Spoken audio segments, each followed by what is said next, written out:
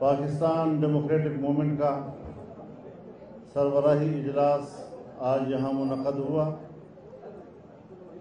जनाब मियाँ मोहम्मद नवाज़ शरीफ साहब, जनाब आसिफ अली जरदारी साहब, जनाब बलावल जरदारी साहब और डॉक्टर जमालदीनी साहब, वीडियो लिंक के ज़रिए से इस इजलास में आज शरीक हुए।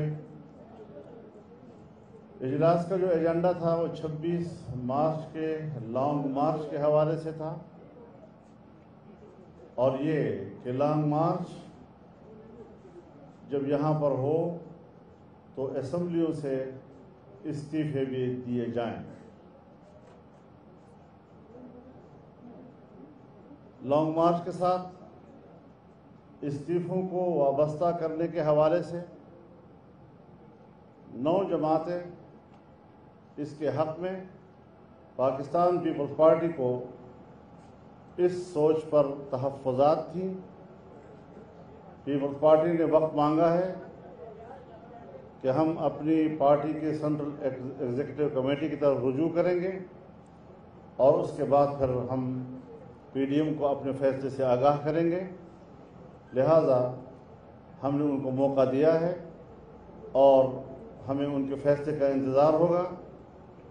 तब तक 26 मार्च का लॉन्ग मार्च मुलतवी तस्वर किया जाएगा। बहुत शुक्रिया।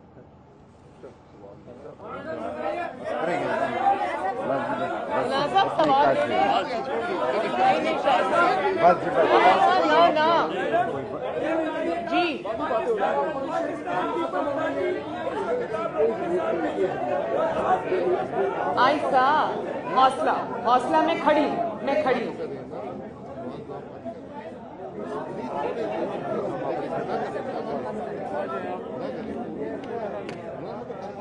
बाकी बातें होती जाएगी मैडम बहुत सारे ऐसे सवाल हैं जो आपसे रिलेटेड है क्योंकि पीपल्स हो जाएगी हो जाएगी मेरे भाई सवाल हो दो जाएगा बड़ी जमातें हैं जो ये चाह रही थी कि हुकूमत छुटकारा पाना है। आखिर क्या वजह है कि अगर पीपल्स पार्टी इस्तीफों पे नहीं आती है तो फिर क्या समझा जाए कि पीडीएम की राहें जुदा हो गई? जब तक पीपल्स पार्टी जैसे मौलाना साहब ने फरमाया कि वापस आकर हमें जवाब नहीं देती तब तक मैं इस पे कोई कयासराई करना नहीं चाहती। आसिफ अली साहब के बारे में बताया जा रहा है कि बहुत सारा उन्होंने बातें की हैं और ऐसा कि इस इस्तीफे उस वक्त होंगे जब आप आए वापस इसके बारे में आप क्या कहते नहीं ऐसा नहीं कहा उन्होंने। उन्होंने ये कहा कि मियाँ साहब आप भी तशरीफ़ लाएँ बाकी सब लोग भी आएँ मिल के जिद्दोजहद करते हैं।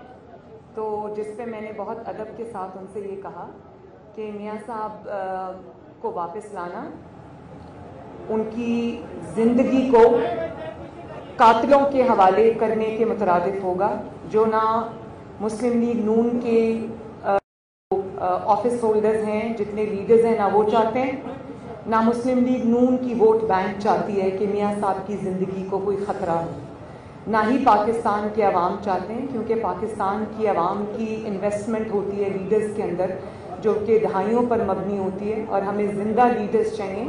हमें लीडर्स की लाशें नहीं चाहिए। हमें लीडर्स का कत्ल नहीं चाहिए। हमें ज़िंदा लीडर्स चाहिए। और मैंने जरदारी साहब से ये भी क्योंकि छोटियों को बड़ी अदब से अर्ज़ किया कि मियाँ साहब की जो स्ट्रगल है, मियाँ साहब की जो कुर्बानियाँ हैं, वो किसी से ढकी छुपी नहीं है। इस जालमाना और इंतकाम आना दौर के अंदर जितनी सख्त जेल और सबसे लंबी जेल आप जरा काइंडली चुप करके बात सुनेंगे प्लीज़ तो सबसे सख्त जेल और सबसे लंबी जेल मियाँ साहब ने काटी है। मियाँ साहब अपनी बीमार और बिस्तर मर्द पर अ, जो अ, एहलिया थी उनको छोड़कर अपनी बेटी का हाथ पकड़कर ये जानते हुए भी कि ये इंतकाम था और ये अम, एक झूठे मुकदमे में उनको झूठी सजा हुई थी लेकिन वो पाकिस्तान वापस आए जेल काटी बहादुरी से काटी जेल में उनको हार्ट अटैक्स हुए बहादुरी से उन्होंने बर्दाश्त किया लेकिन इस हकूमत के हाथ पाँव तब फूले जब उनकी ज़िंदगी खतरे में आ गई और अ, उनको ये लगा कि खुदा न इनकी ज़िंदगी को कुछ हो ना जाए तो आनंद पाने से इस हुकूमत ने उनको बाहर भेजा लेकिन अब चूँकि वो बाहर जा चुके हैं अभी मुकम्मल सिरे याद नहीं हुए। मुस्लिम लीग नून मुस्लिम लीग नून की वोट बेस जो करोड़ों में है और मैं बतौर बेटी समझती हूँ। नहीं समझती कि जो ज़िंदगी उनकी अल्लाह ताला ने बचाई है वो वापस उनके कातिलों के हाथ में सौंप दी जाए। ये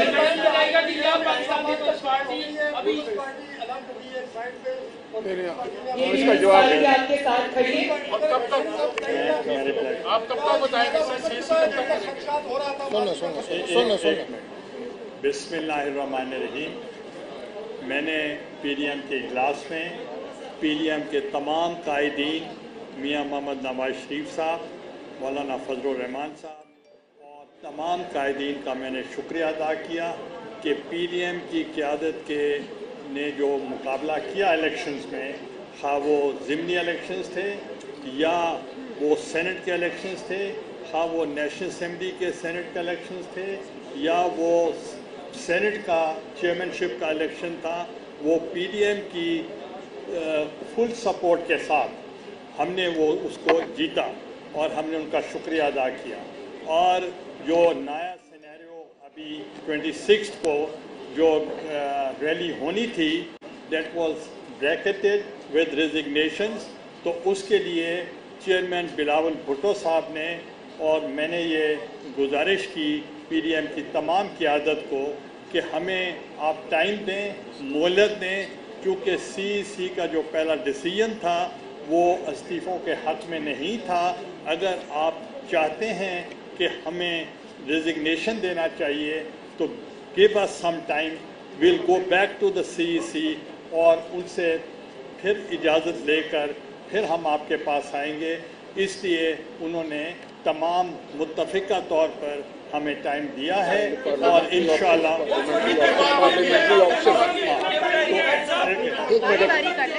एक एक एक उसके लिए हम हम फिर सी सी की तरफ़ जब जाएँगे तो उनका पहला जो मौक़ था, वो था कि पार्लियामेंट्री फॉर्म ऑफ़ गवर्नमेंट है, उसकी तरफ़ जाना चाहिए। तो अब जो नया सिनेरियो है, उसके तहत हमने पीडीएम की तमाम क़्यादत ने मुतफ़िका तौर पर पाकिस्तान पीपल्स पार्टी से कहा है आप दोबारा जाके सीट से जाओ सुन मीटिंग के बाद मैडम अगर अगर नहीं बताती पीपल्स पार्टी तो क्या जेयूआई और बाकी नौ जमातें एक समेत मिलके वो या लॉन्ग मार्च नहीं करेंगी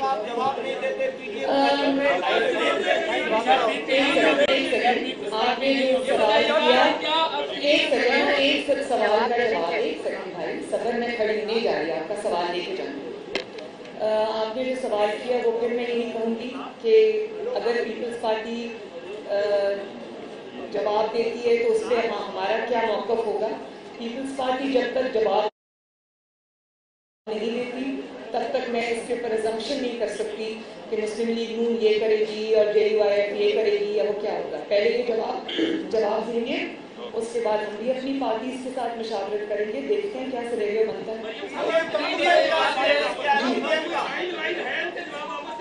उन्होंने आपको बताया कि वो जल्द अज जल्द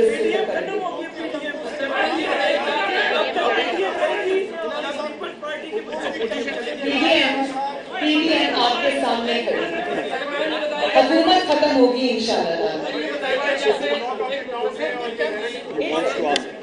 मौलाना फजल रहमान साहब ने एक तवील इजलास के बाद इंतहाई मुख्तर ब्रीफिंग दी। तो इससे हम क्या मतलब ले कि क्या पीडीएम का जो ये इतिहाद था क्या अभी भी स्टैंड करता है? या ये इतिहाद फिल वक्त हमें सिर्फ़ नज़रों में नज़र आ रहा है लेकिन अमलन जो ये खत्म हो चुका है इस सवाल जरा मिजाज कीजिए क्योंकि अब से प्रयास आ रहे हैं शुरू हो गई है और मीडिया तूफ़ान चल रहा है। जरा इस पर तफसीली बात है। अमलन तो आपको नज़र आना चाहिए। है दूसरे के साथ भी खड़े हैं ताउन भी करेंगे इंशाल्लाह। अभी अपोजिशन लीडर एक क्वेश्चन मैंने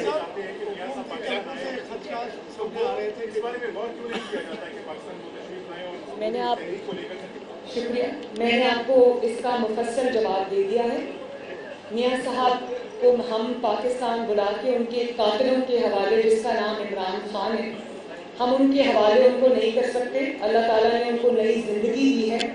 और ये जो उनके खून और ज़िंदगी के गरबे हैं मुस्लिम लीग नून को पाकिस्तान को मियाँ नवाज़ शरीफ की ज़िंदगी की ज़रूरत है उनके तजर्बे की ज़रूरत है उनकी सलाहियतों की ज़रूरत है उनकी उनकी बसीरत की ज़रूरत है।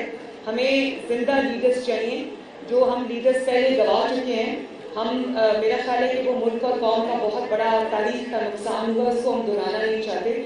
और दूसरी बात मियाँ साहब खुद इंग्लैंड में है, लेकिन उनकी पार्टी फाल तरीन पार्टी है।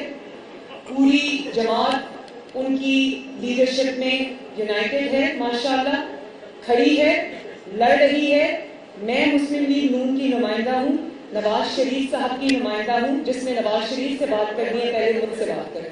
साहब, क्या ये आगे जो सेनेट में मामला है अपोजिशन लीडर का चुनाव है आप लोगों ने अदालत जाना था। मुस्तरद वोटरों का क्या होगा? अब ये खत्म तस्वर करे हुकूमत को खुशी मना रही देखें देखें Opposition देखें। leader कौन होगा सेनेट में? एक एक मिनट एक एक मिनट।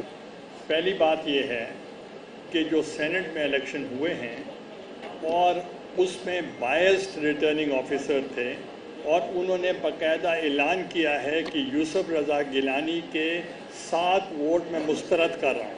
और जब ज़्यादा शोर मचा तो उन्होंने कहा गो टू द कोर्ट्स और हम इन कोर्ट्स में जाएँगे, हमें रिलीफ मिलेगा और इन चेयरमैन हम ही होंगे